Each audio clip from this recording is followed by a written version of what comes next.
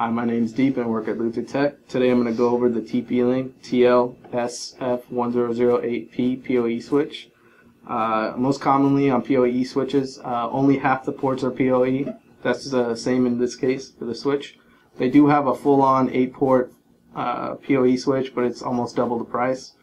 Uh, so I'm going to go ahead and start the unboxing.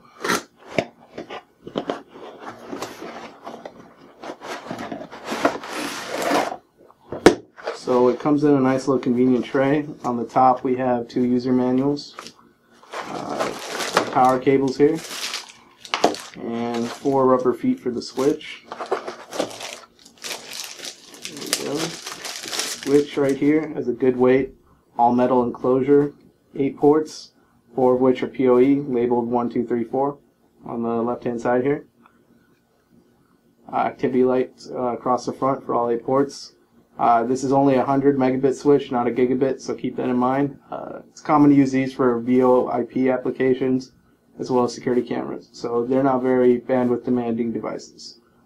So that covers our unboxing of the TP-Link 8-port PoE switch. Thank you and have a good day.